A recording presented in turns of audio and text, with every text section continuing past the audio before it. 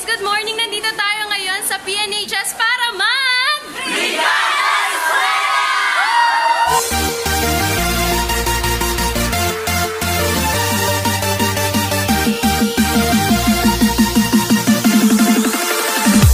Hi guys! Welcome back to my YouTube channel. Nandito tayo ngayon sa PNHS Main Faculty Room ng Senior High School.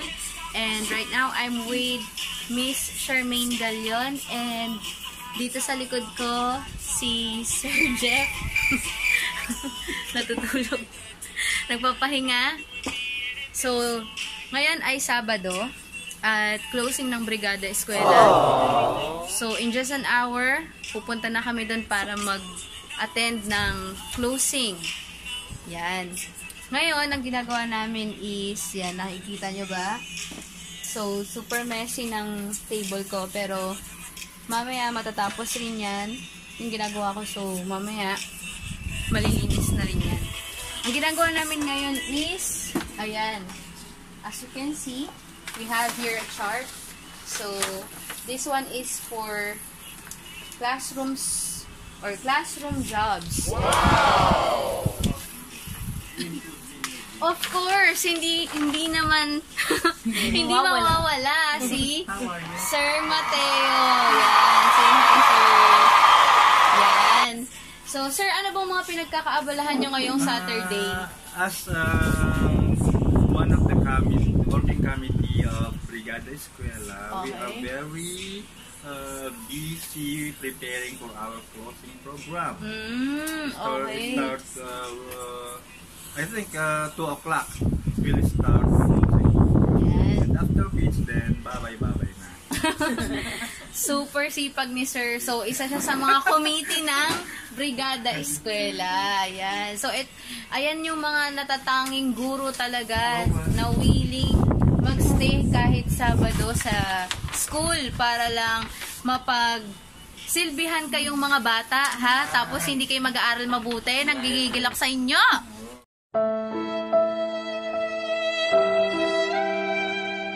Charot. Ayan. So, going back, thank you Sir Mateo. Going back dito sa ating chart. So, as you can see, we have here a chart. Tapos meron tayong six pockets. Pockets yan actually. Sige nga, sige nga ma'am, ipasok mo nga yung kamay mo, yung daliri mo. Para alam nilang pocket yan. Yan. Packet yan. O, diba? So, yan. Packet siya. Ilalagay natin dyan yung popsicle sticks. So, halimbawa, dito sa first pocket, ang nakalagay is, sige ma'am, pahingi ako ng isang strip. Yan. So, yan. Eraser. So, sino yung taga-erase ng board? Ilalagay natin yung pangalan nila dyan sa loob ng pocket. Gamit ang... Teka lang. Asan na yun? Ito, gamit ang popsicle stick. Ayan. So, ilalagay ko lang doon, i-insert ko lang doon yung popsicle stick. natin. Yan. So, may kita na nila yung pangalan nila. Oh, by the way, ako pala taga-erase ng board. Ayan. So, ganyan lang siya. Okay. So, ayos ba yung idea? Ayos. Ayos ba yung idea? Okay. So, yan. Anim na classroom job yung nakalagay dito. Tapos dito naman sa baba, if you're going to notice, we have 5 days na nakalagay dyan. Monday to Friday. So, dyan naman yung ilalagay natin yung mga cleaners from Monday to Friday. So, napapansin nyo, konti na lang yung space. Ang mangyayari kasi dyan, ilalagay natin yung pictures nila na 4R. So, pipicturean ko sila by group, tapos ilalagay natin yung picture nila dyan. By the way, thank you sa mga nag-donate ng pera pambili ng ah, materials, ng art materials and all. So, maraming salamat. I would like to thank my sponsors. Wow, sponsors! Ayun, ah, I would like to thank those people who gave their time and effort in helping us sa Brigada Eskwela, most especially financially. Ayan, so thank you so much. Ah, ano pa ba? So, tara, punta tayo ngayon sa room namin. Okay? Tingnan nyo kung ano na yung mga natapos namin doon. Tara na, ma'am. Okay.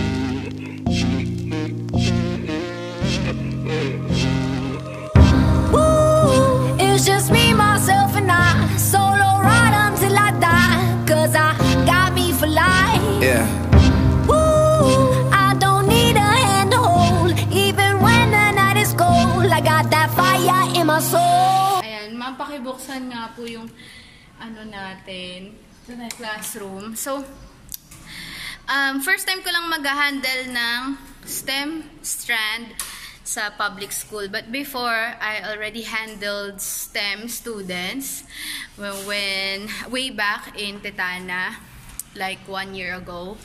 So, magagaling ang mga STEM students at uh, responsible sila.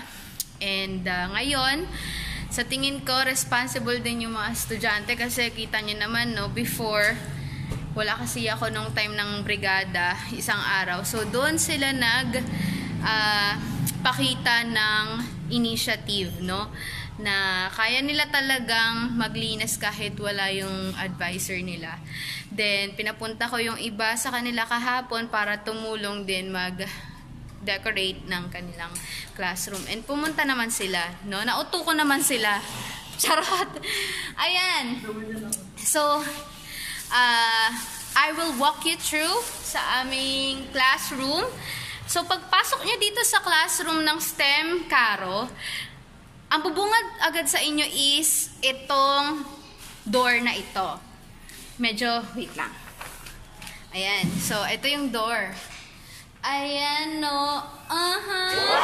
So, ang nakalagay dyan is, welcome. When you enter this little room, consider yourself one of the special members of a group who enjoys learning. So, kung mapapansin nyo, maganda siya. Siyempre, may pinagayahan ako niyan. Ano ba naman kayo? Hindi ko yan idea. Pina ginaya ko yan sa Pinterest. Okay? So, sa lahat ng mga teachers dyan, na alam niyo yon kulang kayo sa ideas kung paano mag-design. Ayan. So, meron tayong Pinterest. So, ginagamit ko yung Pinterest.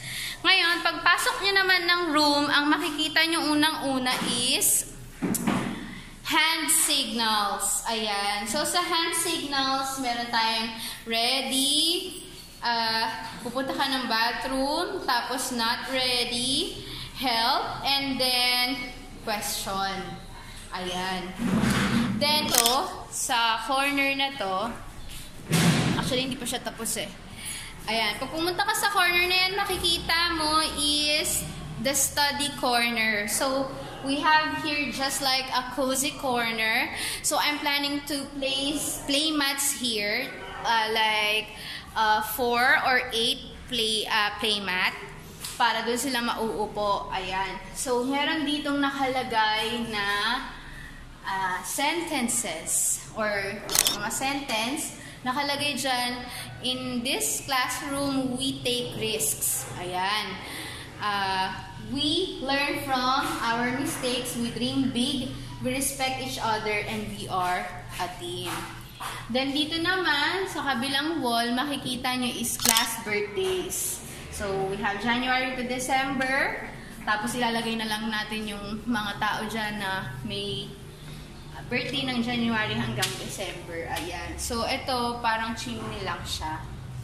Ayan. Then, dito naman sa kabila, meron tayong tinatawag na this week's focus. So, mapapansin nyo, kada bond paper may mga nakalagay na um, may mga nakalagay na kanilang subject. So, ano ba yung mga focus nilang gagawin for that week sa oral com, pagsulat, komunikasyon, EAPP. So, ayan.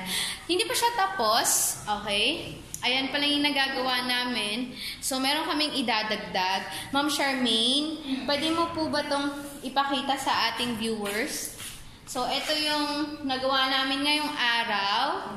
Ayan. So, saan ko siya ilalagay? Doon natin siya ilalagay sa... When you enter. Yan. When you enter this classroom, of course. So, yes. Ididikit natin siya dyan. So, ganyan yung magiging uh, itsura niya. So, basahin natin. Dear students, I believe in you.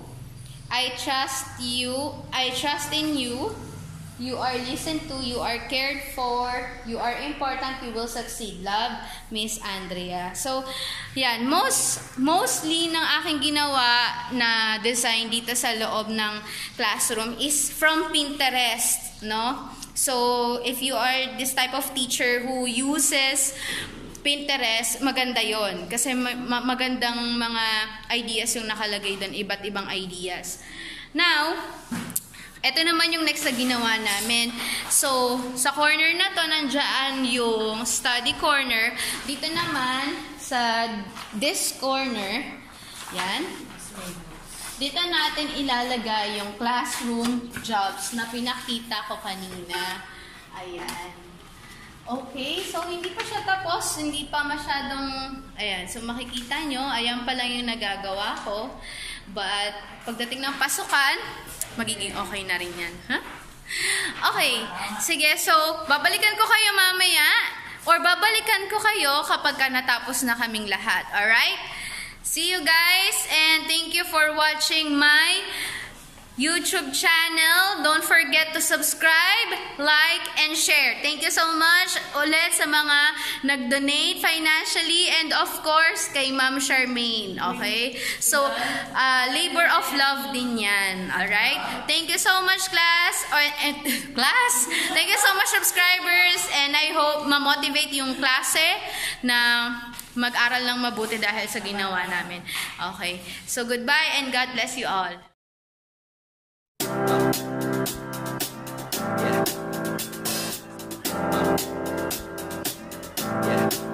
I got this feeling inside my bones. It goes electric wavy when I turn it on. Off from my city, off from my home. We're flying up no ceiling when we in our zone. I got that sunshine in my pocket, got that good soul in my feet. I feel that hot blood in my body when it drops. Ooh, I can't take my eyes off of it, moving so phenomenally. You're more like the way we rock it, so don't stop.